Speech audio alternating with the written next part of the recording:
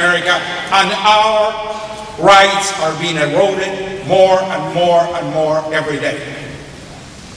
And I'll tell you, I believe that we as Christians have a responsibility.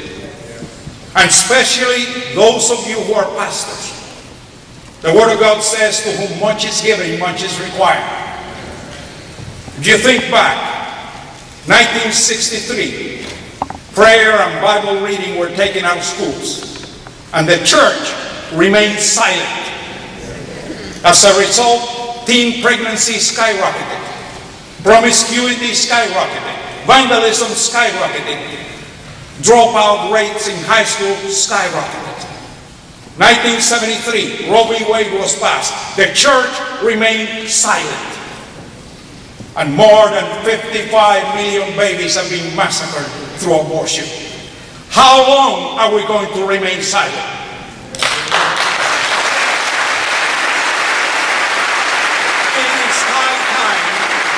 It is high time that pastors stop hiding behind the pulpit.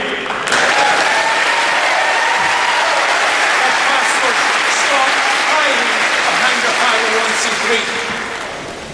Because we're going to have to get be accountable unto God. You know, just again look at history. And I'll tell you, we have a responsibility as parents. The Word of God says, train up a child in the way he should go. And when he's old, he will not depart from it. God is going to hold us responsible for the way we guide our children.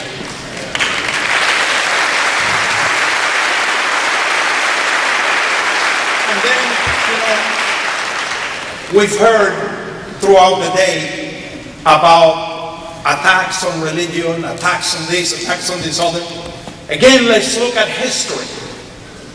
The real champions of our revolution were the pastors.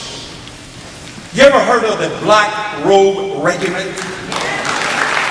The Black Robe Regiment were a series of pastors that wore long black robes. Many of them had the Continental Army uniform underneath the black robe. They would preach on Sunday, take off that robe, and with half the congregation, they would go out and fight for our independence. As a matter of fact, when you hear this attack on religion, it's not really an attack on religion. The fundamental basis is this. Socialism requires that government becomes your God. That's why they have to destroy the concept of God. They have to destroy all loyalties except loyalty to the government. That's what is behind homosexual marriage. It's really more about the destruction of the traditional family than about exalting homosexuality. Because you need to destroy also loyalty to the family. Well, I'll tell you what. I want to wrap up with the last few words of the Declaration of Independence, where these men said, relying upon the protection of divine providence, we mutually pledge to each other our lives, our fortunes, and our sacred honor. Let me tell you, our life is under attack. We already saw what is happening with abortion. The same thing is happening at the other end with Obamacare. Obamacare is going to destroy the elderly by denying care, by even perhaps de- denying treatment on people that are in catastrophic sicknesses. Your treasure, let me tell you, this administration has both their hands in your pocket. They want to take everything you have, and the money you have in your wallet is worth less and less and less every day. So your treasure is going to be evaporated. But let me tell you something. They cannot take your honor. That's all we got.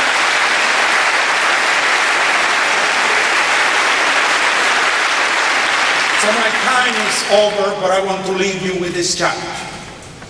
I want to challenge you to make a commitment together with me that we can say, I pledge my life. I pledge my fortune. I pledge my sacred honor to do everything I humanly can to restore this country to that shining city on a hill. If every one of us makes that commitment, we will take this country back. The book of Proverbs says in Proverbs 29 and 2, when the righteous are in authority, the people rejoice.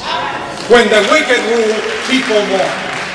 But it also says in Psalms 30 verse 5, weeping may endure for a night, but joy cometh in the morning. If we all come together, we will take this country back.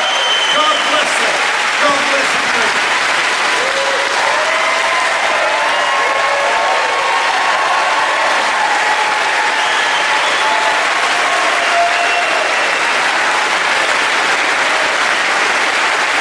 When you hear this attack on religion, it's not really an attack on religion. The fundamental basis is this. Socialism requires that government becomes your God. That's why they have to destroy the concept of God. They have to destroy all loyalties except loyalty to the government. That's what is behind homosexual marriage. It's really more about the destruction of the traditional family than about exalting homosexuality. Because you need to destroy also loyalty to the family. Well, I'll tell you what.